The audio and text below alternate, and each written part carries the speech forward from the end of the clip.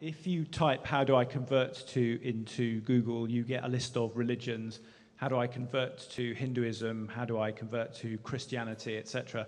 And one of those options is how do I convert to PDF? So I thought I'd write a poem about this new up and coming religion. And this is how do I convert to PDF?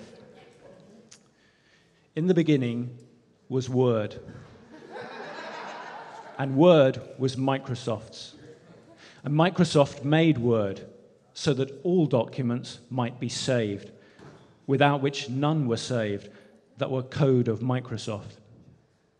Now, in Word was PDF, and PDF was in Word, but it was not Word. And PDF encapsulated a description of a fixed layout flat document, which could be made from Word by being saved, save as PDF. But I comprehended this not.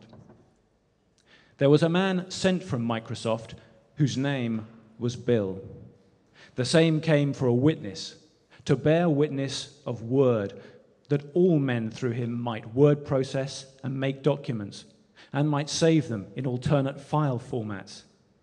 And Bill bore witness of this, and he cried, saying, Behold, this WYSIWYG, by which you can undo, display bold, italic, and underlined text and all documents can be converted into fixed layout by being saved.